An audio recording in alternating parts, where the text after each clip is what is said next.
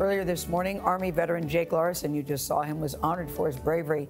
The 96 year old stormed Omaha Beach 75 years ago today. Think about that for a second. He says he is the last living member of his unit. Anthony Mason is leading our coverage from Normandy today. Anthony, what a story he has to tell. Good morning to you.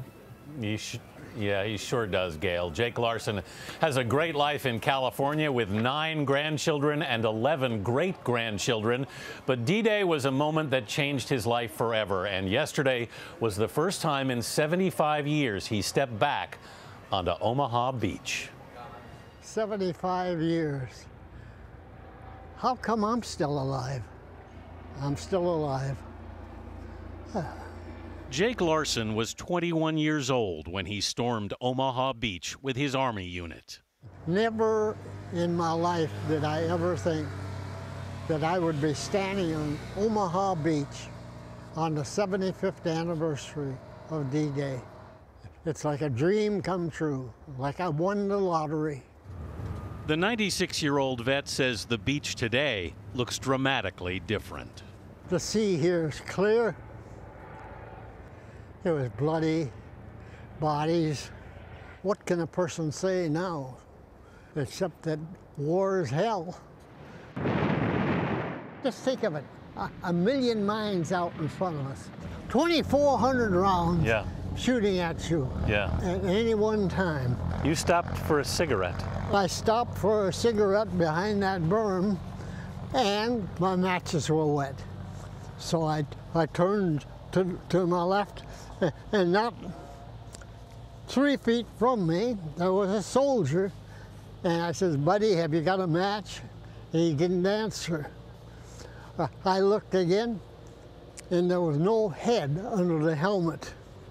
The soul of that boy uh, inspired me to up at that instant and run for the cliff. How does it feel to come back here, Jake? It's one of the most unbelievable things that could ever happen to me. I, I never figured I'd be even living this long. 96 years old is not chicken feed stuff. no, sir, it's not. No. But Larson almost didn't make it here, and it wasn't because of his age, but because of funding. Veteran organizations were going to help, but there was a problem as quick as they found out that my service records were burned up, they dropped me like a hot potato. but two women at his favorite coffee shop decided to raise money for him through a crowdfunding site. When they told me they were going to put that on the uh, internet or someplace, I said, I'm going to get one of the chairs here and get a tin cup and sit out in front and I'll bet you I'll pick up more right outside here than you will to, for that. I said, who is going to pay money for me to go over there? Turns out a lot of people did. How did that make you feel? Well, it made me feel great because I've got a book that I didn't know if I could publish or not. Yeah. But this is going to help me publish that. The name of the book is going to be The Luckiest Man in the World. That's how you feel? That's exactly how I feel. Heading straight towards the water? Yeah, just keep right on walking. The motto of your unit, which is on a pin on your hat, I believe, is to the last man. You're the last man I, now. I am the last man, yes. What do you want people to know on this 75th anniversary, Jake? Uh, don't remember me. Remember all those guys that sacrificed their lives for freedom that we all eh, enjoy today. And remember, freedom is not free. No, it's not. It was his friends at the Bagel Street Cafe in Martinez, California, who started the fundraiser to send him over to Normandy. He's well known at the shop.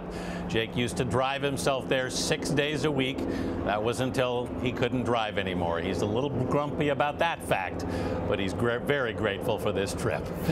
you guys. Oh, God, That's Anthony, crazy. that was so great. I love him saying, don't remember me. But now that you've introduced us to him, We will never forget him. We will Exactly. never forget him. We'll have to look for that book, The Luckiest Man in the World. I love that he considers himself that, and so many of these men who survived have all said something similar to that. you really could see why people wanted and to remember- be with him. Go ahead, Anthony. And remember, and remember, you guys, 96 years old is not chicken feed. no, oh, God, no, he's- sir, it's not. He's still got a lot of, he's very feisty guy. I like that. I like that. A lot of spirit. Yes. Thank you, Anthony Mason in Normandy. What a great job you're doing. Thank you so much.